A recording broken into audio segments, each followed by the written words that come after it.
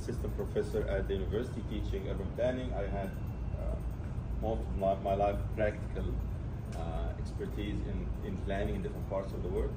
And Zainab is our graduate student uh, in this course. It was uh, done last spring. And the course was actually about the process of planning and comprehensive planning applications in general. So we started the course by um, going into what is comprehensive planning, what are the steps, what to do, and then we were very lucky to get um, a council member uh, from uh, the city of Andalusia uh, approaching the department for some ideas uh, about a problem that they defined at the time as we are losing our youth population. So what should we do?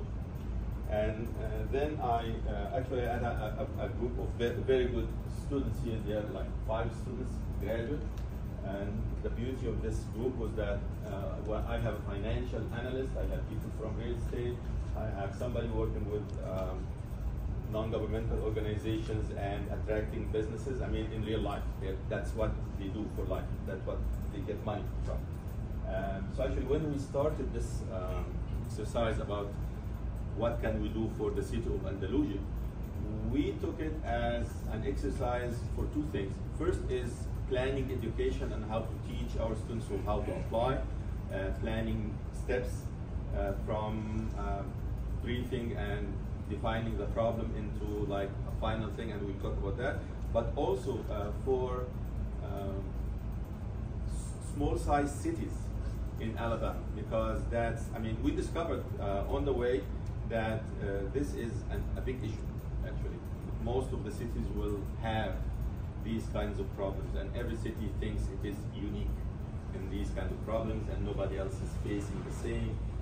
So we, we will touch on that. So actually, we have two objectives for this course. But before we start, I would like to mention something about theory and practice, because uh, what we usually teach to our students in planning and, and then come out to the field apply. The students that the city of Andalusia were losing its youth population and that they wanted us to devise a means to either retain the youth in the city of Andalusia at that time or attract more youth from neighboring cities or anywhere in the country. The change in population in the city of Andalusia from 2010 to 2020 is just a difference of 210 individuals, which in actual sense is insignificant. But to the city of Andalusia, it is significant because it's just a small city of about 10,000 persons. So a city who has 10,000 persons losing about 210 is more of a big deal. So let's compare this city of Andalusia to a city like Los Angeles with millions of people. If they lose about 5,000 individuals in, in about two months, they wouldn't even feel it in Los Angeles.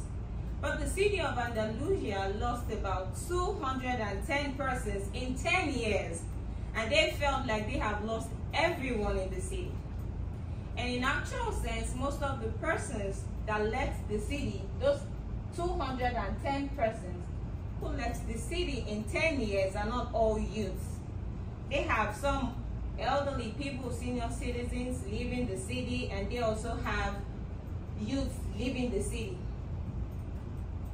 So when students were discussing, we focused on different areas to talk about as the problem. I was uh, I'm an assistant professor at the university teaching urban planning. I had uh, most of my, my life practical uh, expertise in, in planning in different parts of the world. And Zainab is our graduate student uh, in this course. It was uh, done last spring. And the course was actually about the process of planning and comprehensive planning applications in general. So we started the course by um, going into what is comprehensive planning, what are the steps, what to do, and then we were very lucky to get um, a council member from uh, the city of Andalusia uh, approaching the department for some ideas uh, about a problem that they defined at the time as we are losing our youth population. So what should we do? And uh, then I uh, actually had a, a, a group of ve- very good students here. There are like five students, graduate. And the beauty of this group was that uh, well, I have a financial analyst, I have people from real estate, I have somebody working with um, non-governmental organizations and attracting businesses. I mean, in real life, that's what they do for life. That's what they get money from. Um, so actually, when we started this um, exercise about what can we do for the city of Andalusia, we took it as an exercise for two things. First is planning education and how to teach our students on how to apply, uh, planning steps uh, from um, briefing and defining the problem into like a final thing, and we'll talk about that.